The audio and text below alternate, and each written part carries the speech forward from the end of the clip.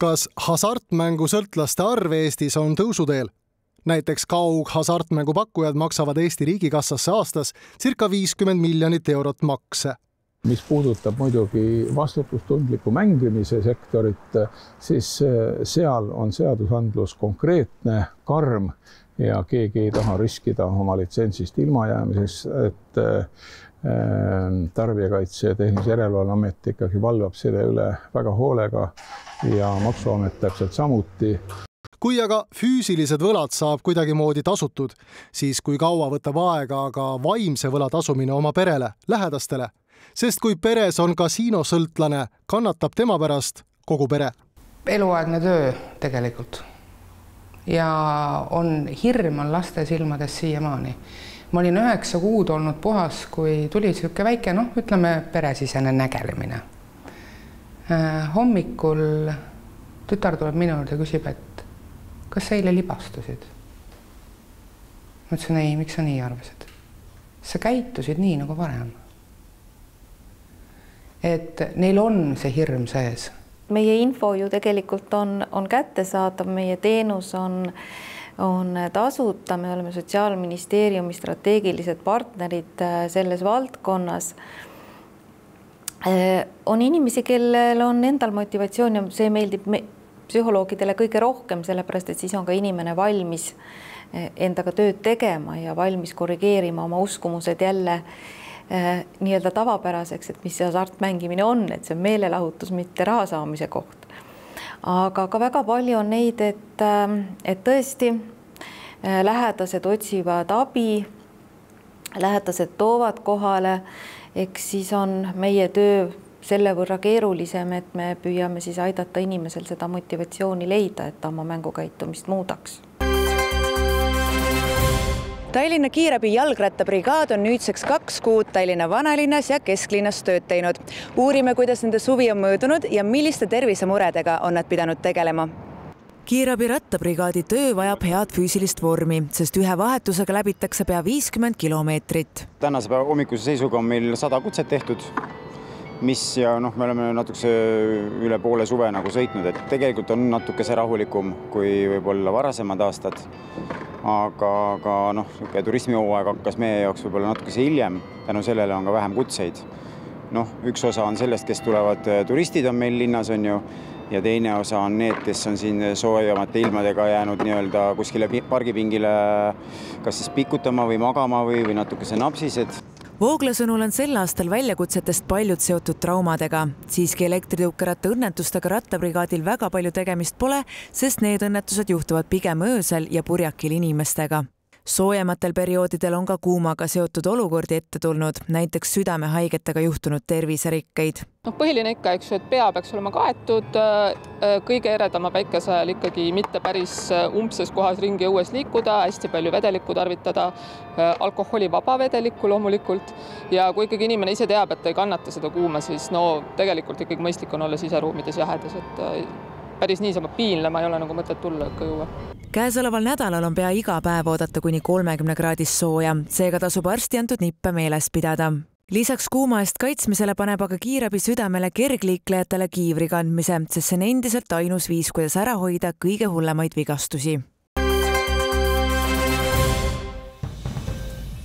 Tallinna Vesi põhjendas, et kehtiv veeteenuse hind ei kata enam kõiki põhjendatud kulusid. seega taotluse kinnitamisel maksaksid Tallinna ja Saue erakliendid ühe kuupmeetri vee ja kanalisatsiooniteenuse eest üks koma kaheksakümmend seitse eurot koos käibemaksuga ja ärikliendid kolm koma viiskümmend seitse eurot, millele lisandub ka käibemaks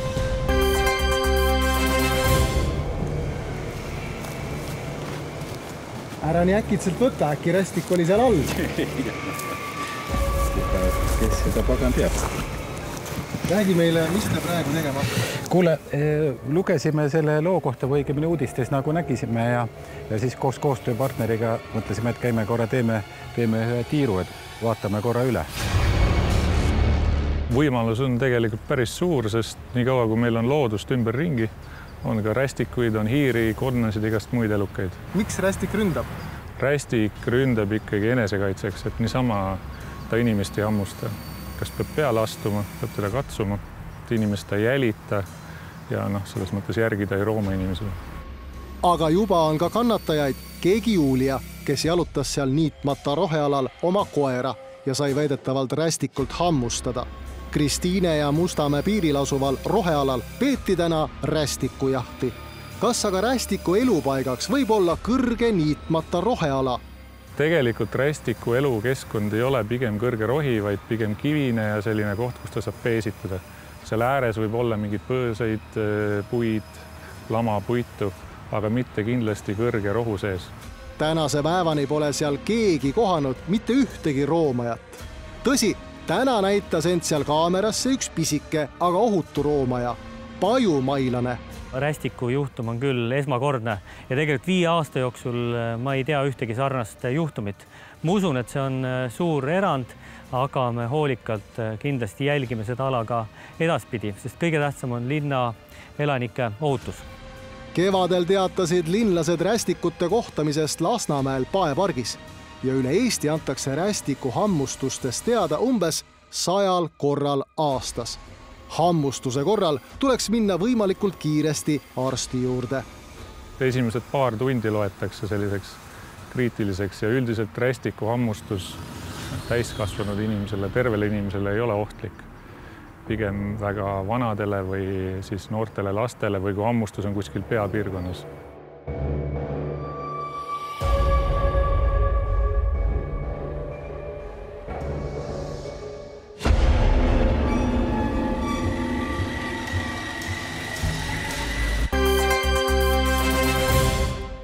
Tihe linnaliiklus, kuumad suved ja üha sagenevad nakkushaigused sunnivad üle vaatama puude liigid ja sordid, mida linna istutada ja mida mitte linnapuude tundlik koht on juurestik, mis võib tänavate paranduse või kaevetööde käigus kergesti kahjustatud saada. probleemiks on ka suured sõidukiirused ja soolaudu, mis talveperioodil soolatatud teedelt puudele levib. lisaks veel ka kuumad suved, mil suured puud tänava ääres ei pruugi piisavalt vett kätte saada. peamine on ikkagi veeprobleem sest valgust enamasti jaguks meil suvel taimede kasvuperioodil, aga peamine on vesi, sest tänavate ääres on kõik tehtud selleks, et sademevesi kiiresti ära juhtida.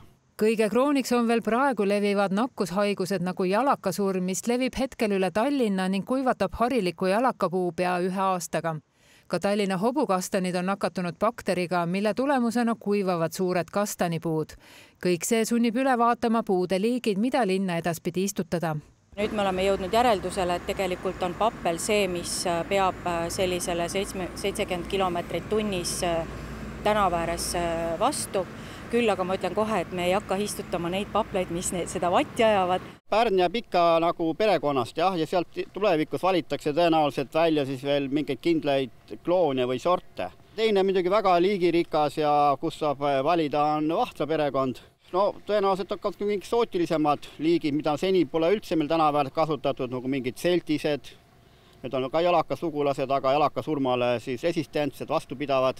Kristiina Kupper ütleb, et hoolimata kuumadest suvedest ja üha sagenevatest haigustest ei kao suured puud siiski linnast kuhugi. me tegelikult äh, peame kasutama uusi võimalikult innovaatilisi tehnilisi lahendusi, et neil puudele ikkagi seda äh, kasvutingimusi tagada. et äh, kui on väga suur mastaapne linnaruum, siis loomulikult me soovime sinna ka tegelikult suurekasvulisi uusi puid istutada uusi hobukastaneid linna küll aga juurde ei istutata. harilike jalakate asemel, mis praegu jalakasurma käes vaevlevad, on olemas haigusele vastupidavam variant, madal jalakas. Balti jaama turul avati näitus Minu Ukraina sõber. näitusel on lood sellest, kuidas eestlased sõjahädas rahvast aitavad. Need on kokku kogutud võidupühal üks lugu on selles, kuidas Saue kogukond muutus abistamisega tugevamaks. esimesel kohtumisel oli meil asumiseltsis äh, kakskümmend ukrainlast juba kohal ja, ja sellest edasi on kõik äh, kiirel sammul arenenud. meie päris esimene samm oli äh, asumiseltsis, asumiseltsi rahadega eesti keele õppe organiseerimine, mis siis kestab siiamaani ja, ja mõned juba päris hästi saavad hakkama üldse oligi näitus niimoodi üles ehitatud, et iga asja juures oli pilt, mille juurde käis lugu. kõik oli muidugi kolmes keeles, eesti, inglise ja vene keeles. Sauelt on ka lugu, kuidas vabatahtlik Sirli käis koolis Ukraina laste vaba aega sisustamas. foto, mis jutustust illustreeris, oli õhupallidega lastest koolis.